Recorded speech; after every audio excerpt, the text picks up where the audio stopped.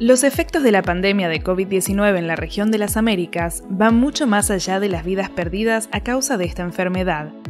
Las necesidades de atención de la mayoría de las personas de la región que tienen trastornos mentales o por consumo de sustancias psicoactivas han permanecido insatisfechas, especialmente en el caso de las personas en situación de vulnerabilidad, incluidas las poblaciones históricamente discriminadas, como las comunidades indígenas y afrodescendientes. La Comisión de Alto Nivel sobre Salud Mental y COVID-19 de la OPS elaboró la nueva Agenda para Salud Mental en la región con 10 recomendaciones para que los responsables de las políticas en cada país puedan incorporar estas estrategias de recuperación pospandémica. 1. Elevar la salud mental a nivel nacional y supranacional. Incluir la salud mental en la cobertura universal de salud y formar asociaciones y alianzas estratégicas para abogar por la salud mental y promoverla a nivel nacional y supranacional. 2. Integrar la salud mental en todas las políticas. Integrarla en todas las esferas de la salud, así como en todos los sectores y en la respuesta a emergencias y desastres.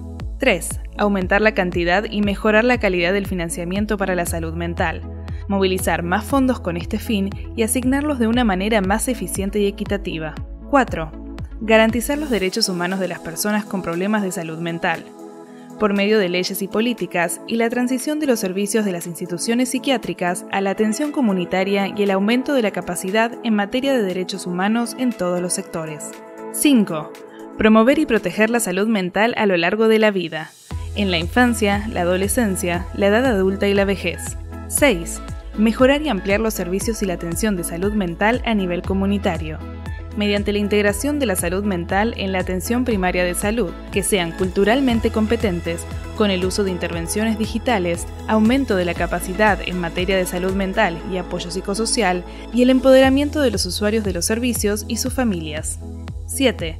Fortalecer la prevención del suicidio, estrategias nacionales de prevención, de promoción de políticas públicas sobre la reducción de los medios de suicidio y del consumo de alcohol y el aumento de la capacidad para responder a las lesiones autoinfligidas y el suicidio.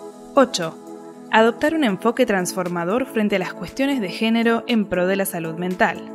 Adoptar medidas para reducir las desigualdades de género y abordar la violencia de género y las masculinidades dañinas que constituyen grandes amenazas para la salud mental. 9 abordar el racismo y la discriminación racial como importantes determinantes de la salud mental, combatir el racismo sistémico dirigido contra los pueblos indígenas, las personas afrodescendientes y otros grupos étnicos mediante el trabajo con estas comunidades para comprender el racismo y sus posibles soluciones, formular planes nacionales de acción contra el racismo y la discriminación racial, el fortalecimiento de la normativa y la legislación y la creación de entornos antirracistas.